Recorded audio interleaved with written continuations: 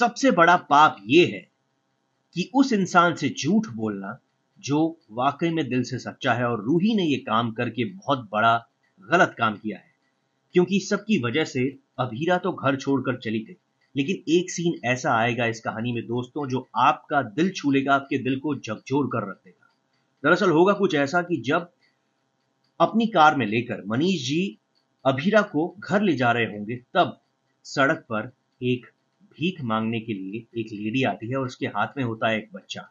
अब जरा सोचिए, वो ड्रामा जिससे इस वक्त अभीरा गुजर रही है, उसके सामने एक बच्चा, एक मासूम सा बच्चा, एक छोटा सा बच्चा जिसे गोद में लेकर एक महिला आती है। अब जरा सोचिए, अगर आपको पता चले कि आप कभी माँ नहीं बन सकती या आप कभी पिता नहीं बन सकती और अगले ही पल आपके सामने एक मासूम सी शक्ल लिए एक छोटा सा बच्चा आ जाता है तो आपके साथ क्या होगा? अभीरा के साथ बिल्कुल वैसा ही होता है। अभीरा कार में बैठे बैठे भी रो उठती है, रोने लगती है।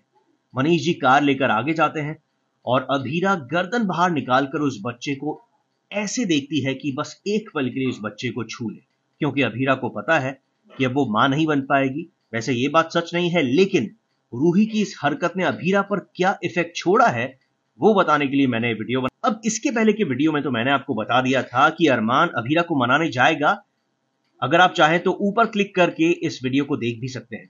लेकिन गोयंकास के घर में अभीरा के साथ क्या क्या होने वाला है, वो भी मैं आपको बताने वाला हूँ। So what are you waiting for subscribe to my channel for more updates मुझे बहुत सपोर्ट मिलेगा। कीप वॉचिंग ये Rishta Kya Kehlata Hai on Star Plus and Disney Plus Hotstar and subscribe to my channel for more updates take care guys take care